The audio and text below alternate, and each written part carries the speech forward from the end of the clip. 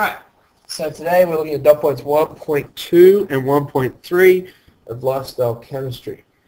So, basically today we're going to talk about mixtures, and we're going to run through the different types, starting with a homogeneous mixture. And so, you should all know by now that a homogeneous mixture looks the same throughout. That's important. Um, and, but basically, that really only covers one type of mixture, and that is the solution. Alright, so we'll talk about that. That's a straightforward one, you all know that. The next one is heterogeneous. Okay, now this means different throughout. We're not rocking your world yet. Um, this here is, yeah, that, that's the part that means different. And this part means same. And we're good so far. Now, there are two types of heterogeneous mixtures that we, we, as a class, will be concerned with over the next few weeks. One will be the suspension. Okay, uh, this is yeah, stuff like muddy water, etc. And the other one will be colloids. That's our most complicated. It, it doesn't get any harder than colloids though, so that's that's a good thing. I promise.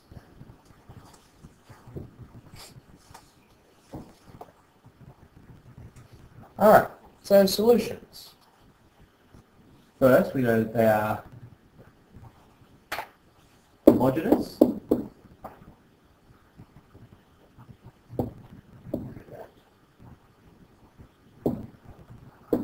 homogeneous. Straightforward. Um, so it's two substances completely mixed. Alright. You have two parts. You have the solvent. Okay. And the solvent is particle being dissolved. Cool. And then you have the, ah, got that backwards. Sorry, that's the solute. So no, we'll get there. Then you have the solvent. This is the medium, okay? that the particles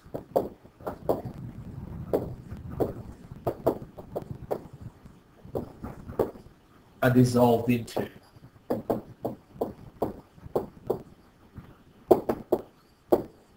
Cool. Straightforward. Now, they cannot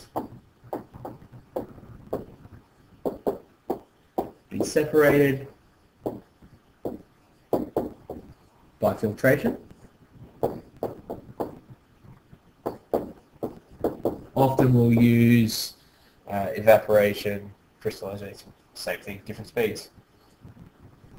Now, if we're being brutally honest, a true solution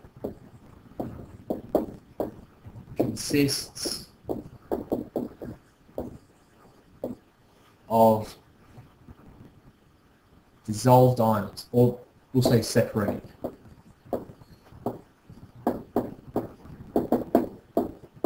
Okay, and one way to look at that is you have your beaker, okay, and in there you've got mixed, you can't see them, they're invisible, they might change the colour, in this case they won't, they're your ions, okay? So we go, this one can be Mg plus, and that one there is chlorine minus. So it's broken up into the water, okay? And that's your solution. All right, so we'll give you some examples. Okay. So you've got solids.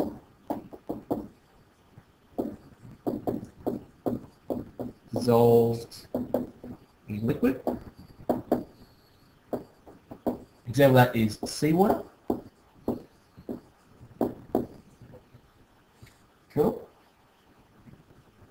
Also, you can have a gas dissolved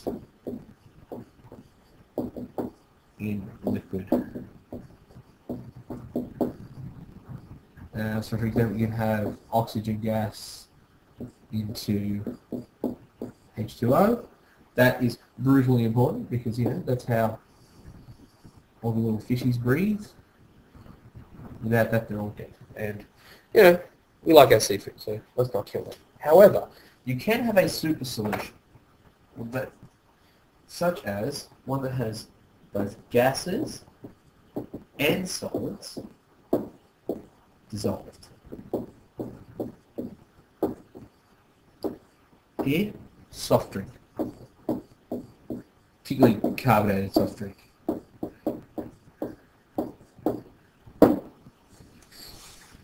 That's solutions. Then we have suspensions. Now, suspensions aren't nothing, aren't anything mysterious. For example, they are heterogeneous. Um, okay, um, they are basically they're fine particles.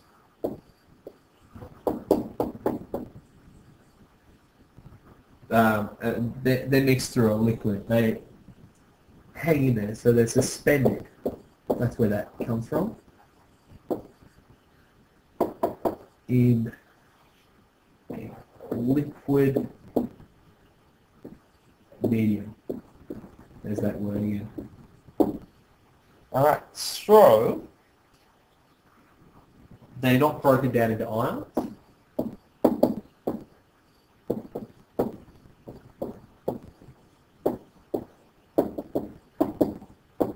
So if we mix, so went earlier, I'll do it in red so you can see it's not the same thing. If we go magnesium chloride into water, it becomes, yeah? And if we go copper carbonate into water, it stays copper carbonate. It doesn't break down. And also, it stays solid, which is really important, okay? So, in this case, particles are large enough, and this is important, to be visible. That's to the naked eye, of course. Uh, it'll look like this. You, you've got your beaker, start off with, and it's just sitting there, and it'll all it'll all look the same. You know, once you've shaken it up, you've mixed it through, and all the. It'll all be blue. But if you leave it sit there for long enough, so it's gives us time, above the arrow, you'll have in this case, water, and then down here you'll get a sediment, alright? And that one will be, if we go back to our example up above, copper carbonate. Alright, so pretty, pretty simple. Um, I better write. And here we'll go, yeah,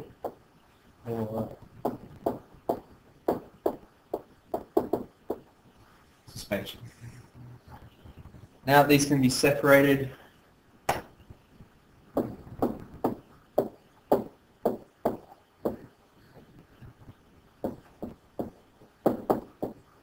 by filtration.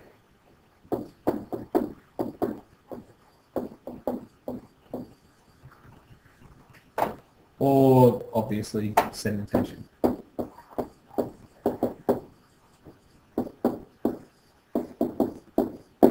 Cool.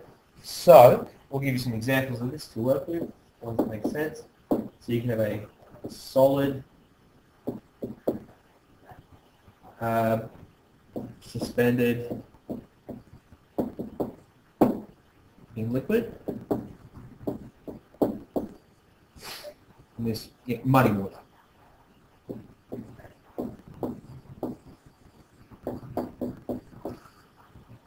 Or you can have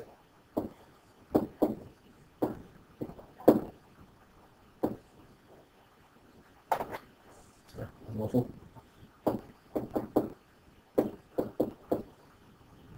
liquid suspended in a liquid. And that, my friends, is full cream milk. Mm, tasty. Alright, colloids. Colloids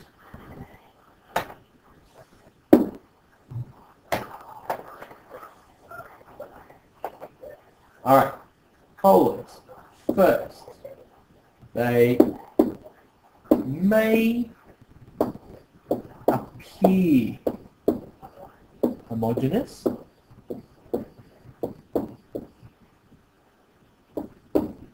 But it's a lie. Okay? They're, they're not homogeneous at all. They're indeed heterogeneous.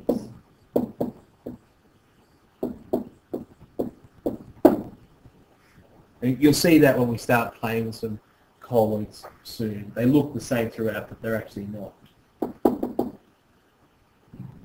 So particles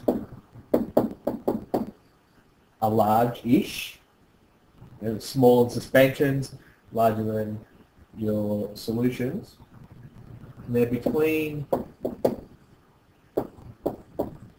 uh, 1 micrometer, that's 10 to the minus 6 meters, or 1 nanometer, which is 10 to the minus 9 meters.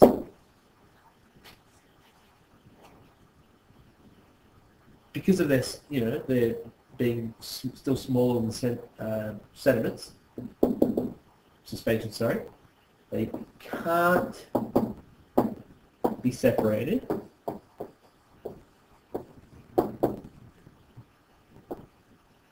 by filtration or sedimentation.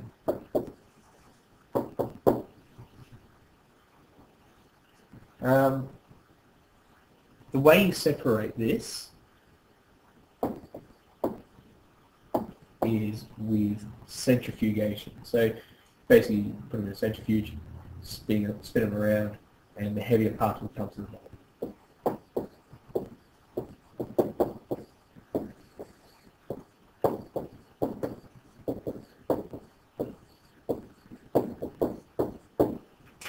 Cool. Alright, so if they look homogeneous, how can we tell them apart from a solution? And with that, we come to this.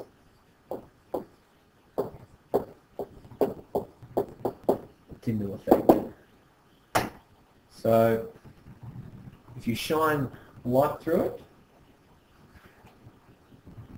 because of their size, light will scatter. For this we can use a laser or a beam of light. So the light will scatter due to size of the particles.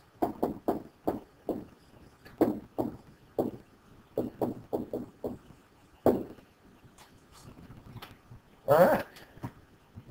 Um, so basically this having, again, sorry, we use that to tell them apart. The solutions that doesn't happen. There's no scattering.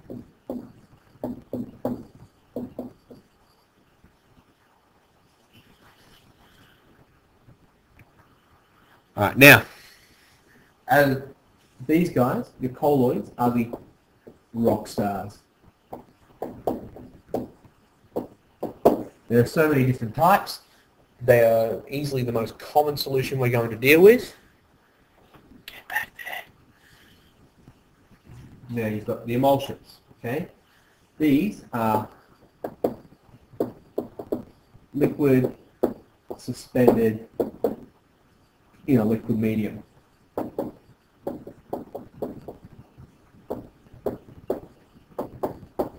That word medium is important, okay? Remember that, know what that means. So you can have either oil in water, and this is you know milk is so homogenized.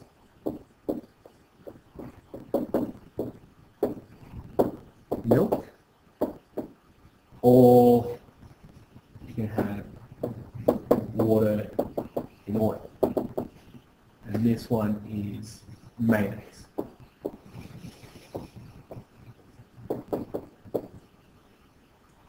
The next one is really cool is foams. Foams are, I might do that in a different colour just in case they get too close. Foams are a gas in a liquid.